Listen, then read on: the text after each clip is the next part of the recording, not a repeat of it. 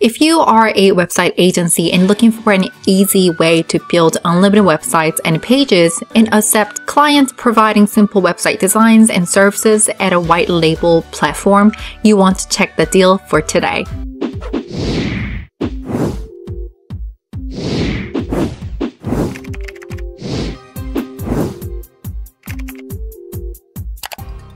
Hi there, and today I want to share a new one-time fee software deal called AdPage. On my previous videos, I mentioned that I love website building software, so no exceptions. I immediately purchased AdPage to check what is special about it. Before I jump into the software inside, I want to briefly talk to you why you cannot refuse the deal today. Create unlimited pages and websites. AdPage uses the Amazon CloudFront technology for the website's ultra-fast speed. Create forms, quizzes, and accept payments. Some features are coming soon, white labeled. You and your clients will not find AdPage at anywhere. Your clients will have their login page to start to build their sites. As an agency, you can add customers and delete 100,000 monthly unique visitors per client account. If you exceed monthly visitors, we'll need them to upgrade. Easy to build websites, no coding skills needed. Website templates. One click to publish the page, you can choose either their subdomain name or your own domain name. Connect with your WordPress with landing pages by AdPage plugin. 60 days money back guarantee. All these features you will need to pay only once.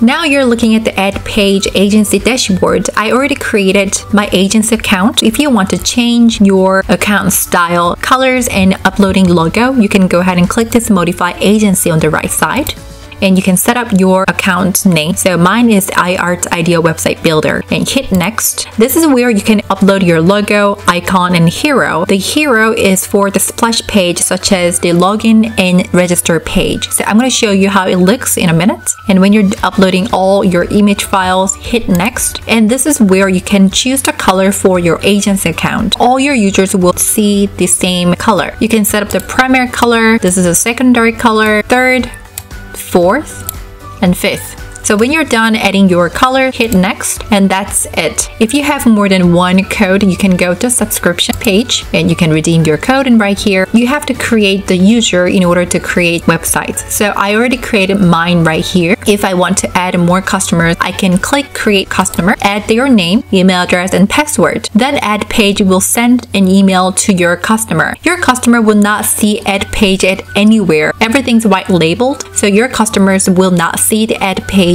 logo, or any information at anywhere inside of their account and the email. Once you create your customer's account, you can click on the view to check their how many products they created, how many domain names they opened, and page views. Products and domains they can create unlimited, but the page views each customer they can have 100,000 visitors per month. You can click the modify user to edit their name, email address, and change password. You can also disable this customer's account or delete completely. You can go ahead and click this login icon to access to their account.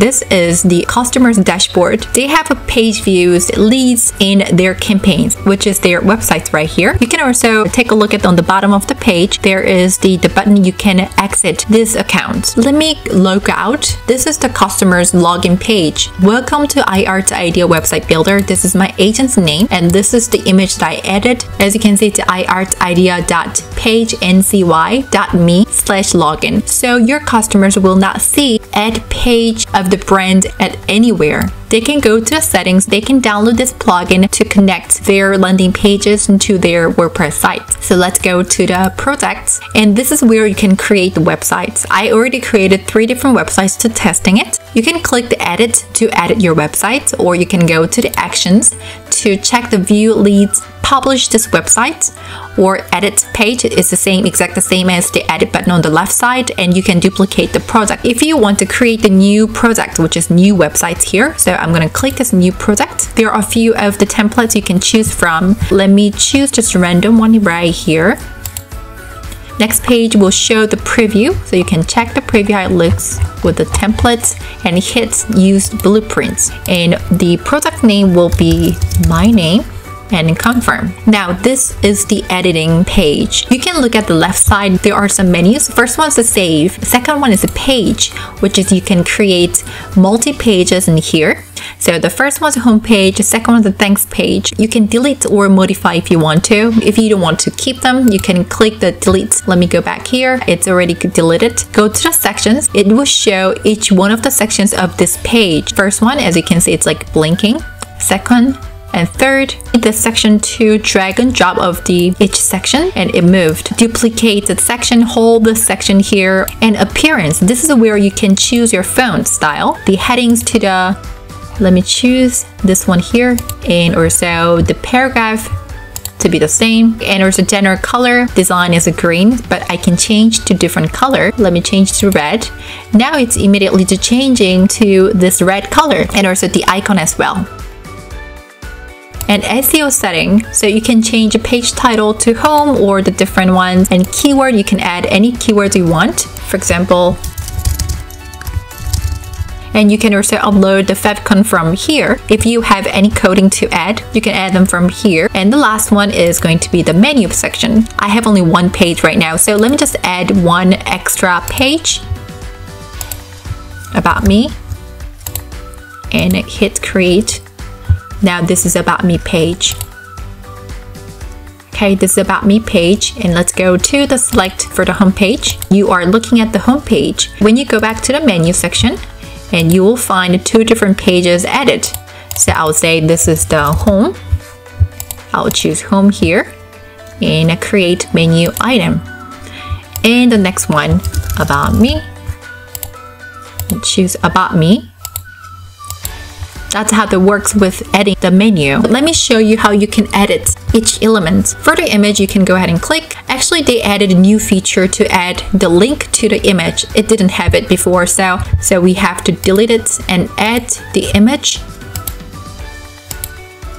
and you will immediately to see you can add a link. So I'm gonna click this icon to upload my image. Now I'm gonna just bring one random image from the website. It looks really big, right? I'm going to left click again and this is how you can change height. Now it's 100 but I'm gonna change to 30%. Of course you can add your link right here. If you want to have a different color in the background or the adding the image or video you can go ahead and click this the gear icon. You can set up the image and also you can set up your video right here, YouTube or any Vimeo video.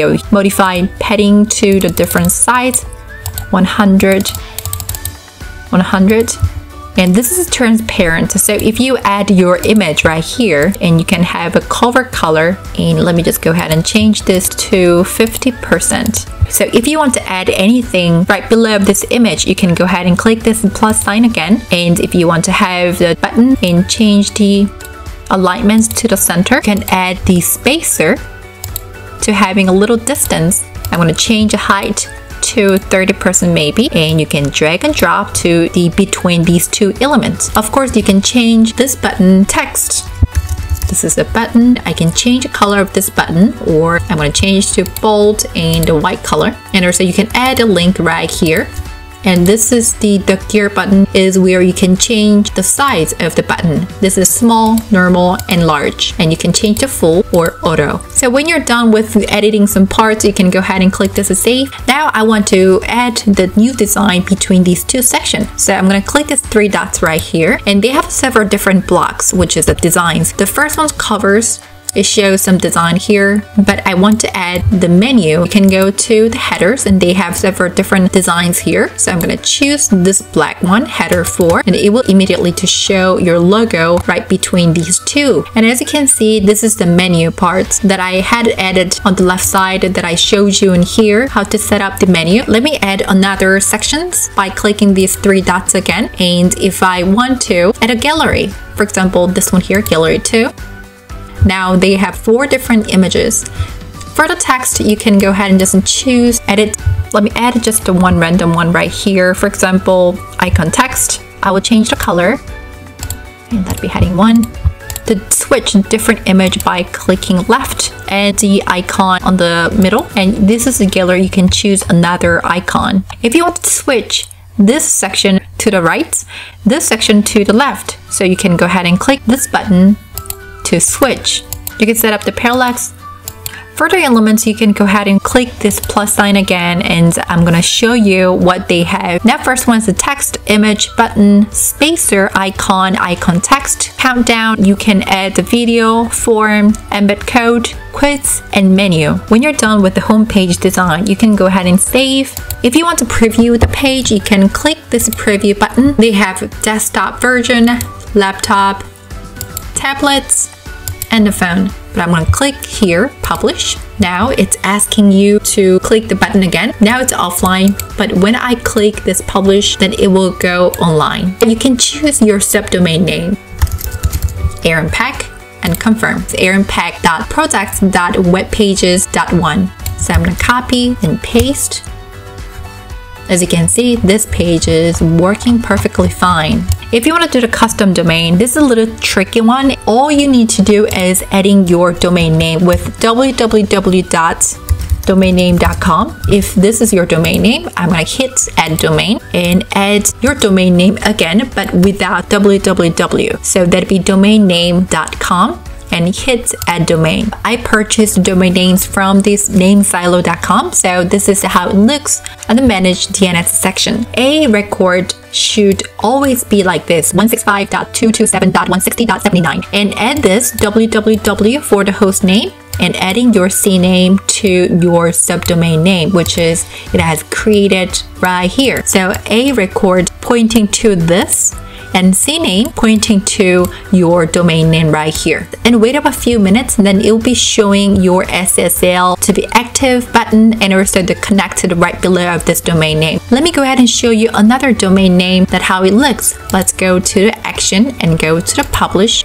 as you can see, my domain name has been connected and also the current value shows on the both of the section and SSL active. Now you're looking at their the AdPage roadmap right now, planning many different things, team leader integration, and they have so many of them right here. And now they're working on the more templates. So that's pretty much it about this AdPage. Hopefully you like this video and understand about the AdPage software. And thank you so much for watching my video.